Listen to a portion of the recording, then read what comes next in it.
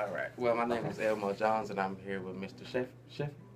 Yeah, uh, Chaffee. Ch- Chaffee? Yes. Okay. My first question to you is who would you identify as important teachers, role models, or significant figures you encountered while in college? While in college, well, I'd have to say probably in my my master's program. Uh, I got my master's of library and information science at the University of Kentucky, and um, I landed an internship with the Public Policy Archive. And uh, the gentleman that I worked with, Jeff Jeff Suchanek, was the head of the department, and he was responsible for all the collection development.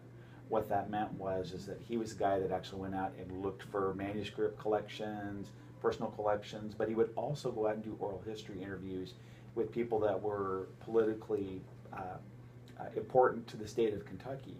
And so, you know, he really instilled this this this this love of history and the um, you know obtaining the skill set to want to be able to go ahead and collect that information as well and uh, make that information available for other people to use, not only for their own research but to help preserve you know the history of, of a culture, of a state, of a city, of an organization. Right. So I'd have to say, in my college experience, he, he would he was probably probably my, my most influential figure. Okay.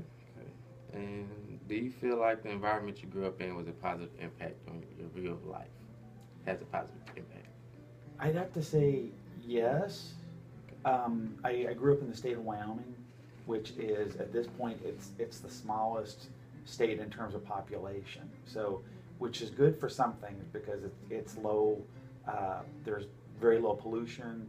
Uh, crime rate is not that high, but on the downside, there's very little industry. So um, it was positive in that it was it was it was a great environment to grow up in in terms of kind of a, a, a very quiet and rural area. Right.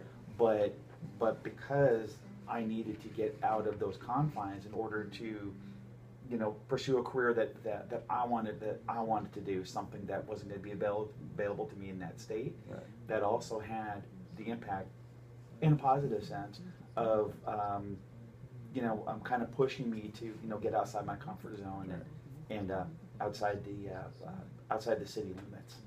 All right. And what advice would you give to young people today?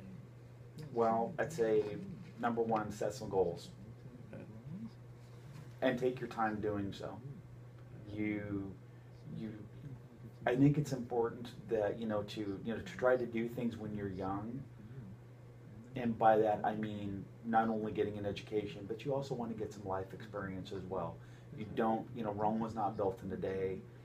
I don't think you necessarily have to confine yourself to, a- to a traditional four-year degree. Our education is going to be ongoing.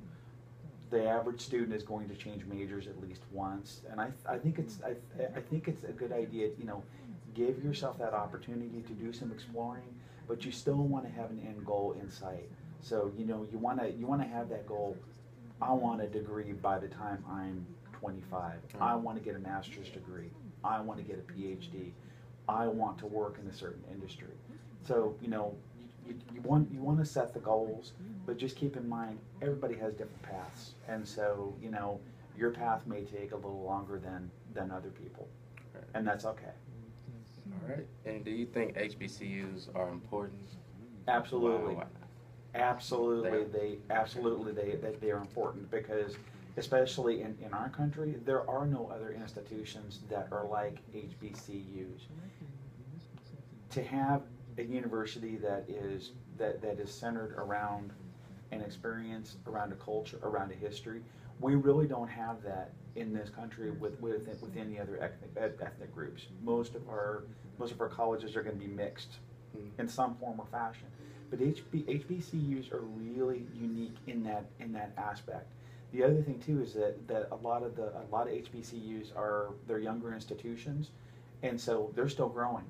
For instance, you know Texas Southern has only been around since the 1920s, and so our history is still emerging, and our culture is still emerging along with us. Right.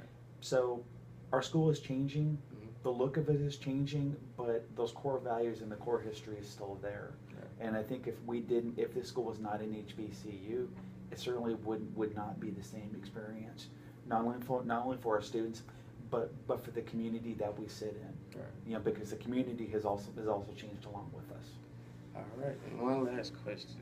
Um, what memories stick out most, and how did you prepare for where you are now? Hmm. And what memories, by memories, I mean like what memories stuck out in your college career? Well, I remember being I remember being very I remember being very very scared my first year of college because Okay. it was a new experience. I wasn't sure. I wasn't always sure if I was doing the right thing. Um, and I would have to say that, you know, reaching out to people around me and finding friends to lean on and, you know, learning how to go and talk to my professors and, you know, other organizations on campus to really help me figure out, you know, what this whole college experience was about. That was, I mean, it was it was a big part of what what what shaped my college experience, and you know, for for my career that followed. So, like I said, you know, those first Right. mem- first memories I remember, it was it was a lot of confusion because. You know, you're out on your own for the first time. You know, you're learning. Hey, I've got to get myself up and get myself ready for school. I've got to make sure my bills are paid. I'm responsible for my schoolwork.